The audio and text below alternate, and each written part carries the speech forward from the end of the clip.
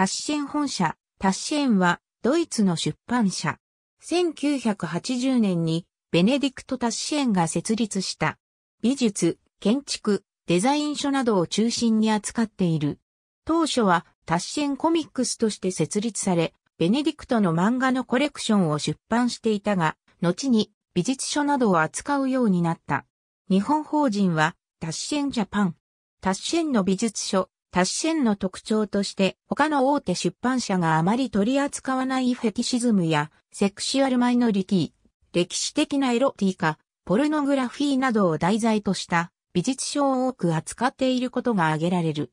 タッシェンはこれらの題材を扱った書籍を写真集や画集、ファッション誌などの一般的なジャンルの書籍と並べて出版することで前述したような題材を人目に触れさせる機会を増やすことに一役買った。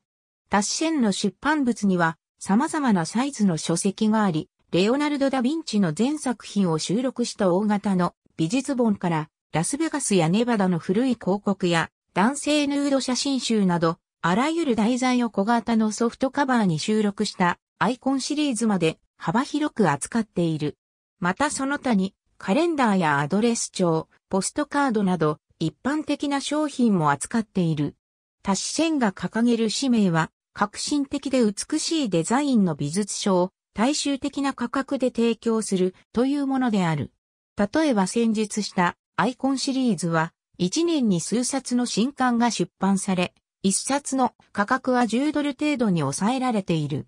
また、廉価な画集シリーズであるタッシェンベーシック、アートシリーズでは、一冊につき一人の画家が扱われており、ミケランジェロのような古代の作家から、ノーマン・ロックウェルなどの現代美術作家まで幅広く取り上げられている。また他に、フランク・ロイド・ライトなど、世界的に著名な建築家とその作品を扱ったタッシェンベーシックアーキテクチャーシリーズもある。またタッシェンは出版史上最も高価な書籍の一つを発行している。それはゴートという書籍で価格は1万5000ドル、重さ75ポンド、ページ数は700ページにも及ぶ。この本についてドイツのデアシュピーゲル氏ではこれまでに出版されたものの中で最も大きく、最も重く、最も光り輝いている書籍と評された。また、タッシェンが他に発行した高額な書籍として、ヘルムート・ニュートンの回顧展、